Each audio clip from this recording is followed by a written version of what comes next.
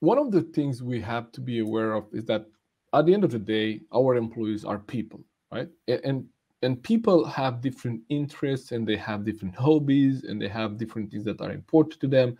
And as we probably discussed in many of the previous episodes, we cannot assume that people are motivated by the same things that we are motivated, and what's important to us is also important to them. But what we could do is we're just making sure that we include some of the what we call to be sometimes small talk or chit chat or or talking about things that are not necessarily related to business. So when you have a one-on-one discussion with your people, if you go directly, like you open your whatever you know goal tracking you have, you open your mm-hmm. Excel file and you look. Okay, so where were we now? It's it's March. Okay, so in March you should be here.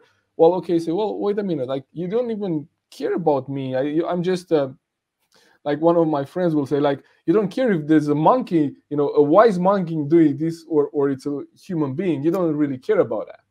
But what you could do is you could include a little bit of you know kind of social time right? What i mean by that is to ask them about for example uh, if if there is a if this is a monday right? On a monday you could ask them you know what did you do you know during the last weekend? Right? And and they'll mm-hmm. they'll probably share some things right? And if they share a lot then you can probably have a lot of hints about what's important to them. If they share a little that also say okay so so they will probably need a little bit more time or more uh, let's say close or, or more private environment. So for example if you have a stand-up meeting with your team and say okay hello everyone you know, uh, you know happy monday. How did you spend your weekend? So people will share at different levels right? Some will go a little bit more in details and and, and some will just oh that was fine you know and, and they will not give a lot of details. What you need to do is you have you need to have one-on-one time with these people that are not comfortable in sharing in the group yeah.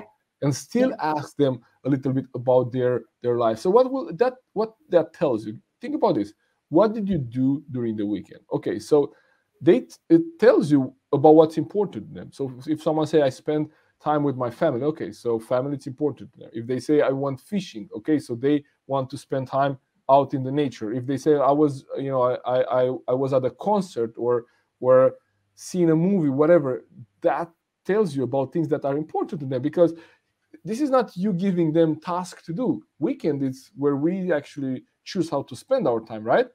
And and the choices we make about how we spend our time and and money you know when something is important to you it shows up in your day book and in your checkbook right yeah, or, or today, yeah. today it shows up in your calendar and in your bank statement, right?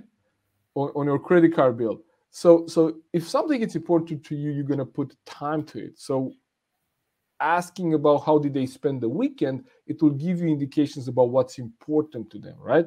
And, mm-hmm. and, and you will find out. I find out about some of the people I work with that they were actually taking uh, you know evening classes because they wanted to develop further and they didn't have they wanted to have a degree to be an engineer because they were not an engineer i didn't know that mm. I, I, had no mm. clue that they were actually studying after work mm-hmm. and, he was one of the one of my colleagues i worked with with him in like about three years i didn't know that but we had a chat at once we were in you know in a business trip and we had some you know small chat and i and i learned about that and i but i bet his manager didn't know about it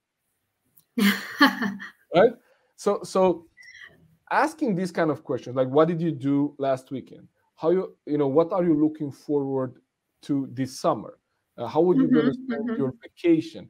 And, and these things actually give you really good indications about what it's important to them outside of the of the work